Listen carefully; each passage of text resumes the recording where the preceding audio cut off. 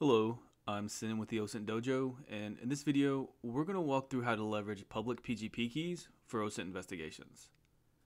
If you want to try this out for yourself, or perhaps follow along with this video, you're going to need some sort of software to work with PGP keys, assuming your operating system does not already come with one built in. For this demo, I'm going to be using Kleopatra. So, for those who might not know, PGP, or Pretty Good Privacy, is used for encrypting and decrypting messages or files using a combination of a public key for the encrypting and a private key for decrypting.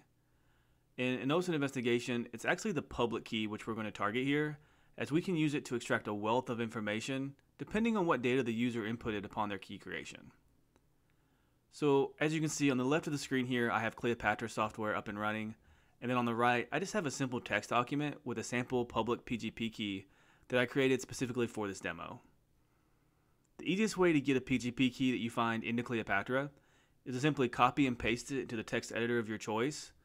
and then just go and save that as a .asc file. Once you've done that, you can move over to Kleopatra, click on the import button, locate the file that you just created, double click it, and it's going to extract all the information from that public PGP key and display it to you in, in Kleopatra. As you can see here, we have the name that the user provided, the email that they provided, as well as a valid from date,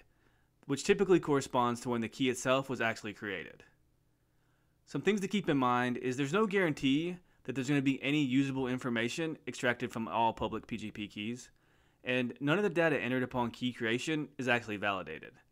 So a user might enter gibberish, fake information such as an email they don't have access to,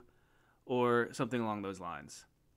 That being said, extracting this information is still something an investigator is going to want to do just to make sure they've covered all their bases and not left any stones unturned.